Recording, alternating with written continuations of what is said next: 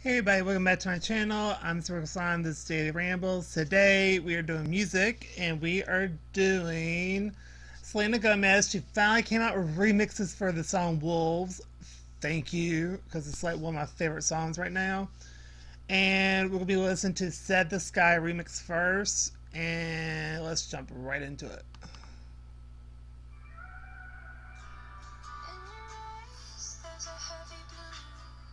Already like really different, but I really like it. I like actually the um, acoustic guitar in there so far. I really like that.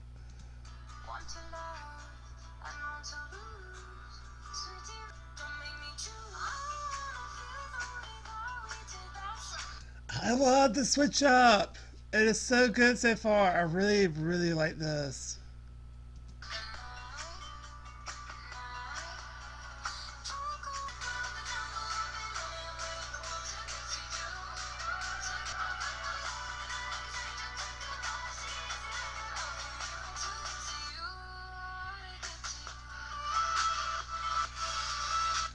Oh, that switch up is so sick. I love it so much.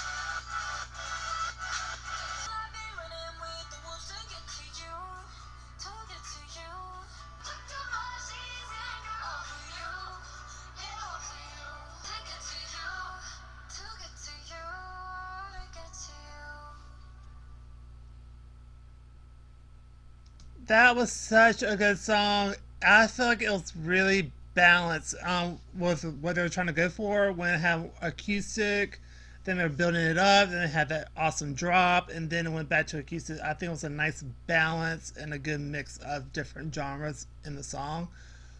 Thoroughly enjoyed that song. It was so freaking good. Oh my god. Um, just everything, but I'll give this A plus. It was really good. Loved it.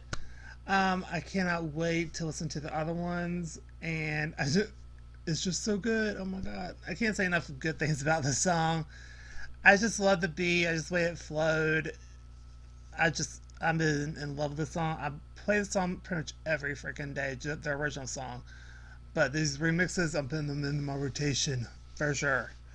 So, um, if that's one for this video, so if you like this video, please go to like, comment down below, and tell me what you think of the song. Do you agree, disagree? What is your favorite Selena Gomez song or album? And also, if you leave suggestions, leave it down there below, and I might check it out and do a reaction or review for it. So I do want to dive into more of her albums, into more remixes, and just everything.